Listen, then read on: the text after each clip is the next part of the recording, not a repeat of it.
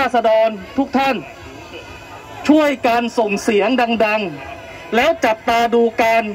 โหวตของสภาในวันนี้ ว่าสุดท้ายการปิดสวิตช์สวจะสำเร็จหรือไม่ซึ่งเราพักก้าวไกล เห็นว่าถ้าจะแก้อะไรก็แล้วแต่ แต่ถ้าไม่ปิดสวิตช์สวนี่คือละครฉากใหญ่ นี่คือปาหี่ที่เอาไว้ตบตาประชาชน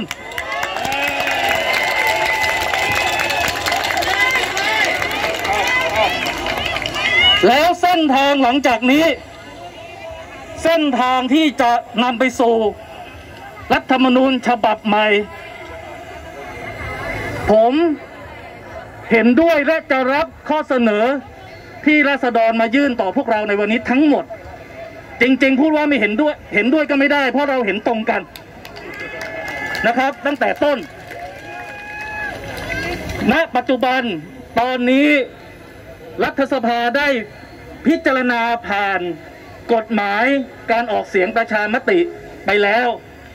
ซึ่งสามารถผลักดันให้เกิดประชามติได้หลายช่องทาง ช่องทางหนึ่งคือการเข้าชื่อของประชาชน ช่องทางหนึ่งก็ ผลักดันผ่านรัฐสภานะครับ คงต้องช่วยกันทุกช่องทาง เราในฐานะพักการเมืองก็จะผลักดันอย่างเต็มที่ผ่านช่องทางของรัฐสภา และถ้าสามารถผลักดันให้รัฐสภาเห็นชอบว่าให้จันให้มีการจัดทำประชามติ ถามพี่น้องประชาชนผู้เป็นเจ้าของอำนาจสูงสุดของประเทศนี้ ผู้ทรงอำนาจสถาปนารัฐธรรมนูญ นะครับว่าเห็นชอบหรือไม่ที่จะยกเลิกรัฐมนูญฉบับ 60 ของคอสช แล้วจัดทำรัฐมนูญฉบับใหม่ทั้งฉบับ ถ้าผลักดันผ่าน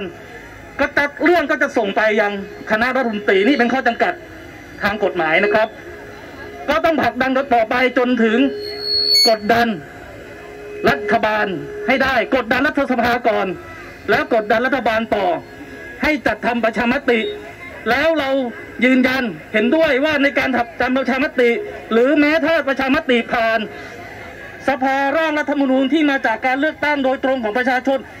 ต้องไม่จำกัดอำนาจของประชาชนว่าห้ามแตะหมวดนั้น ห้ามแตะหมวดนี้นะครับ ไม่มีประโยชน์อะไร ที่จะไปห้ามแบบนั้นและเป็นการไม่เคารพอำนาจของประชาชน เรายืนยันตรงนี้ เพราะเราเชื่อว่าถ้าเวทีสสรไม่เป็นพื้นที่ให้กับประชาชนทุกกลุ่ม ทุกความฝัน ทุกอุดมคติได้เข้าไปต่อสู้ถกเถียงกัน มันจะไม่สามารถสร้างฉันทามติใหม่ให้กับสังคมไทยได้นะครับ